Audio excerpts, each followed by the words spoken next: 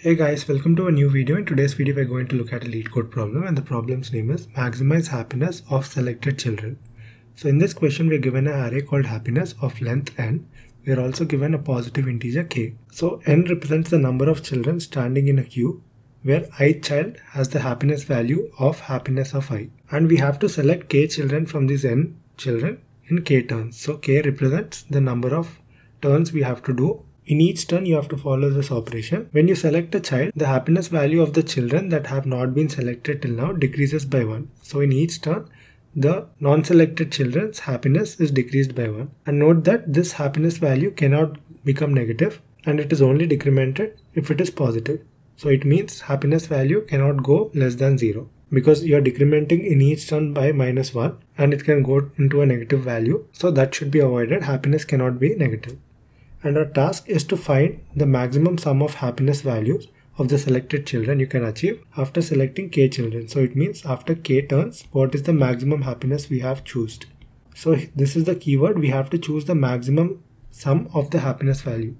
So to have the maximum sum, you have to pick the maximum happiness value in every turn. So these are the three examples given to us. So let's take a look at them. So we know that we have to perform two turns. So in the first turn, so let me name it T1. In the first turn, I keep track of the max value. Max is equal to 3 because I picked this. Uh, because I picked this, the rest of the numbers are decremented by 1. So 1 becomes 0 and 2 becomes 1. And now we have to perform T2. So in T2, I pick the maximum which is present here.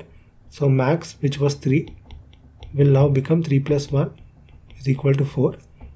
And the rest of the value since we picked this, we have to decrement this, but that is already 0. It cannot be negative, right? As they mentioned. So it had to be minus 1, but since it is going to be a negative value, it will become 0. And now we finish the two turns.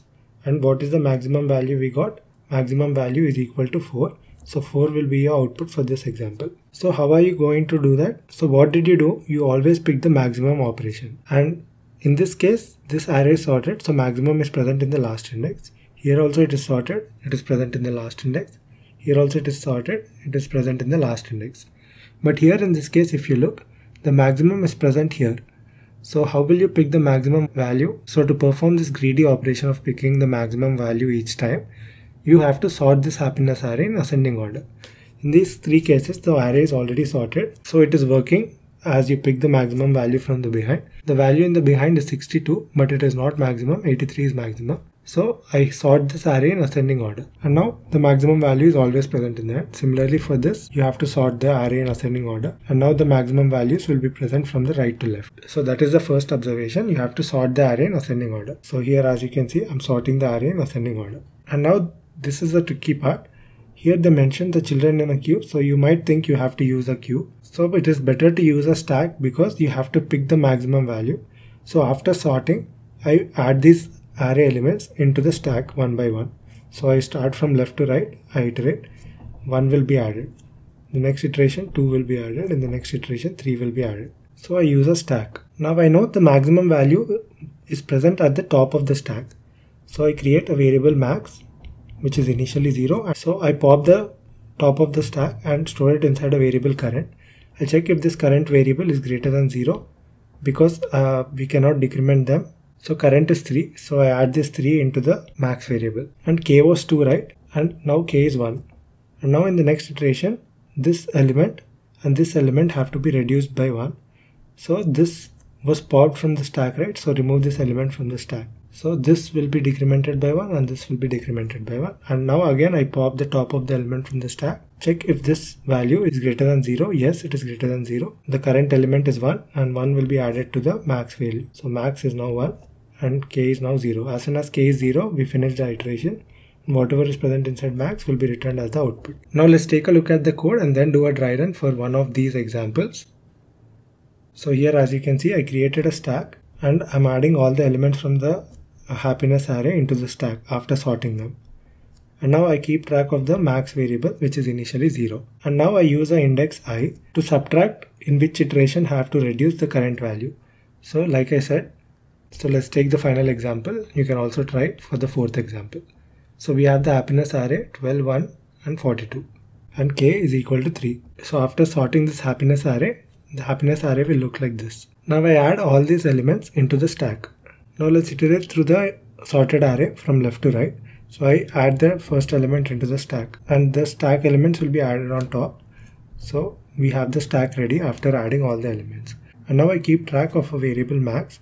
So max is the output we have to return which is initially 0. And I keep track of index 0 so that I know in every iteration how much I have to subtract from the current element. So I run a while loop until k is not equal to 0. So k is initially 3. Now I pop the current element. So I keep track of a variable current. So current will be the top of the stack. So I pop it. So after popping this element will be removed from the stack.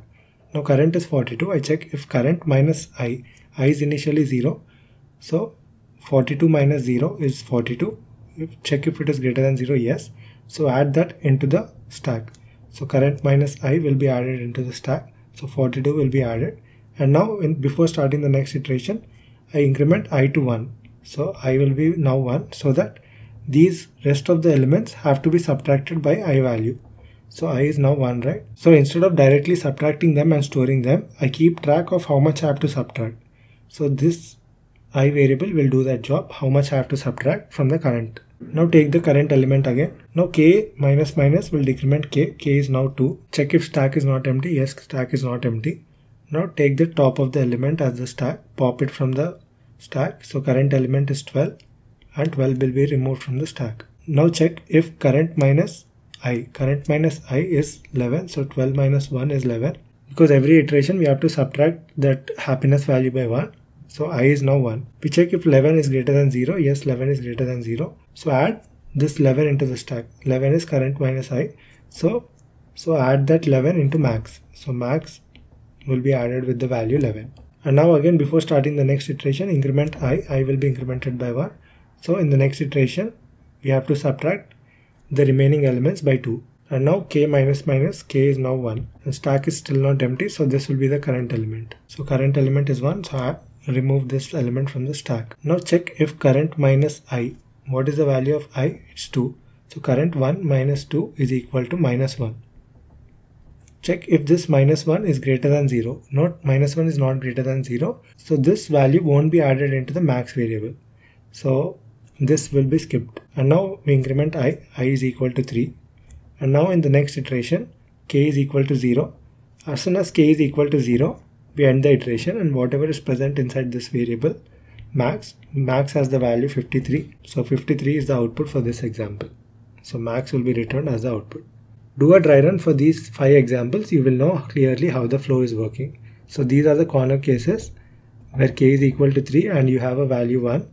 You will know which elements to remove. And these are the standard cases where k value is given and the happiness array is already sorted. So these are the critical cases. So coming to the time complexity, the time complexity is O of n log n because we're sorting the input array in ascending order. So happiness array is sorted and this is for iterating through the array. So total is big O of n log n and the space complexity is also O of n because we're using a stack to store our uh, input array. So all elements inside the happiness array will be stored inside the stack initially. So n is the length of the happiness array. That's it guys. Thank you for watching and I'll see you in the next video.